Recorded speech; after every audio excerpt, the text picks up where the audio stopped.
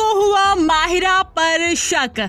माहिरा फंसेगी करण के ज्वाल में। वेल जी टीवी के सीरियल कुंडली भाग्य के आने वाले एपिसोड में आप देखने वाले हैं धमाकेदार ट्विस्ट क्योंकि अब जो है, वो करण को माहिरा पर शक हो गया है पूरी तरह से। करण को शक हो गया है कि माहिरा ही कोई ना कोई गड़बड़ कर रही है, और उसी की वजह से यहाँ पर प्रीता जेल पहुँच चुकी है। वही आने वाले ट्रैक में आप देखने वाले हैं कि करण कुछ ऐसा प्लान बनाएगा, जिससे कि माहिरा खुद करण के जाल में फंस जाएगी, और वो सारी सच्चाई उगल देगी अपने मुँह से।